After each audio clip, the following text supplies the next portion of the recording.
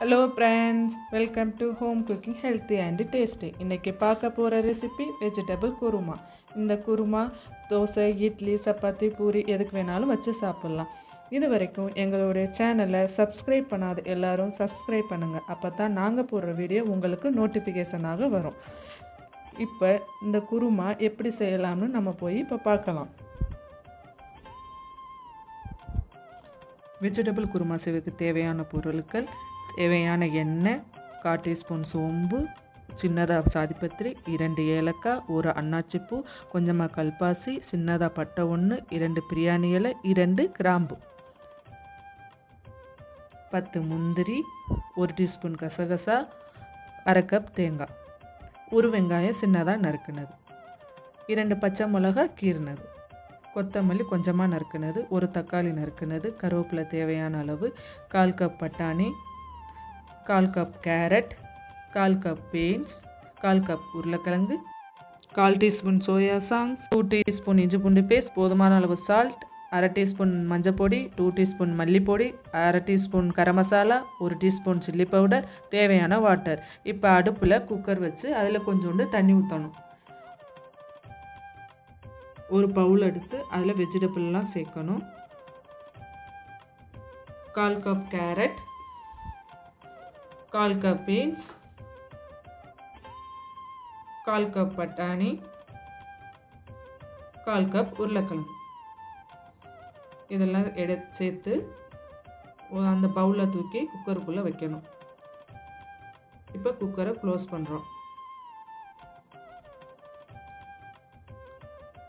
இது two whistle வரணும். அது வரையும் வெயிட் பண்ணணும்.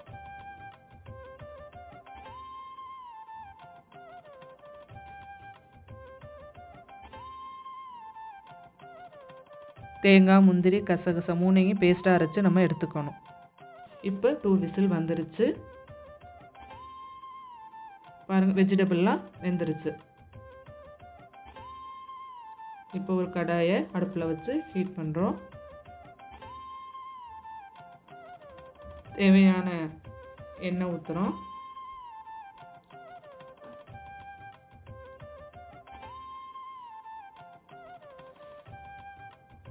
அதில் சோம்பு அன்னாச்சிப்பூ சாதிப்பத்திரி கல்பாசி பட்டை கிராம்பு ஏலக்காய் பிரியாணி இலை. இது நல்லா கொஞ்சம் பொரியிற வரையும் வெயிட் பண்ணணும். தேவையான வெங்காயம் ஒரு வெங்காயத்தை நான் நறுக்கி அதில் சேர்த்துருக்கேன். இதை நல்லா வதக்கணும்.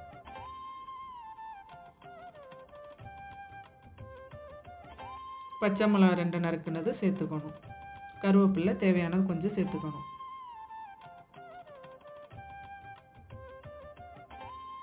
இது நல்லா எல்லாம் வதங்கிருச்சு. இப்போ இஞ்சி பூண்டு பேஸ்ட்டு சேர்க்குறோம்.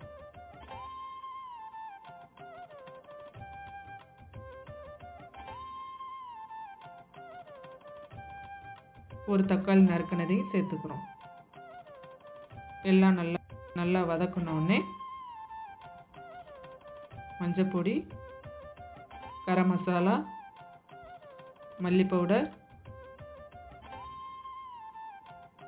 சில்லி பவுடர் இதெல்லாம் சேர்த்து நம்ம வதக்கணும். கொஞ்சோண்டு தண்ணி சேர்த்துக்கிட்டு மிக்ஸ் பண்ணி நல்லா வதக்கணும்.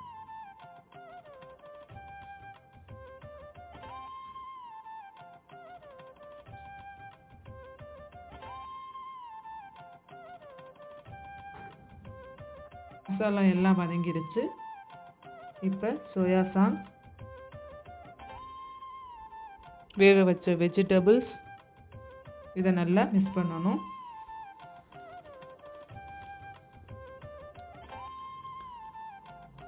இது கொஞ்சம் நேரம் நல்லா வதங்கினோடனே இது ஒரு ஃபைவ் மினிட்ஸ் வேகட்டும். தேவையான சால்ட் கொஞ்சோண்டு தண்ணி இதை நல்லா மிக்ஸ் பண்ணி விட்டுட்டு நமக்கு ஒரு ஃபைவ் மினிட்ஸ் க்ளோஸ் பண்ணி வைப்போம். க்ளோஸ் பண்ணி வச்சோம்னா அது வெஜிடபிள் உருள் எல்லாம் சேர்ந்து மசாலாலாம் சேர்ந்து வெந்துடும் இப்போ மூடி வச்சு ஃபைவ் மினிட்ஸ் ஆயிடுச்சு ஓப்பன் பண்ணி பாருங்கள் எல்லாம் வெந்துருச்சு. இப்போ ஒரு தடவை மிக்ஸ் பண்ணி விட்டுட்டு இப்போ நம்ம அரைச்சி வச்ச தேங்காய் முந்திரி கசகசா பேஸ்ட்டை மிக்ஸ் பண்ணி அதில் மிக்ஸ் பண்ணி ஒரு ஃபைவ் மினிட்ஸு க்ளோஸ் பண்ணி வைப்போம். இப்போ வெஜிடபிள் குருமா நம்மளுக்கு ரெடி ஆயிடுச்சு. இதில் கொத்தமல்லி தூவி நம்ம இப்போ பரிமாறலாம்.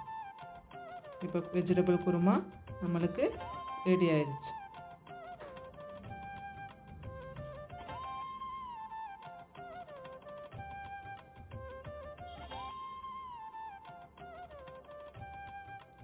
ஓகே ஃப்ரெண்ட்ஸ் இந்த ரெசிபியை நீங்களும் செஞ்சு பாருங்கள் செஞ்சு பார்த்துட்டு ஷேர் பண்ணுங்கள் லைக் பண்ணுங்கள் கமெண்ட் பண்ணுங்கள்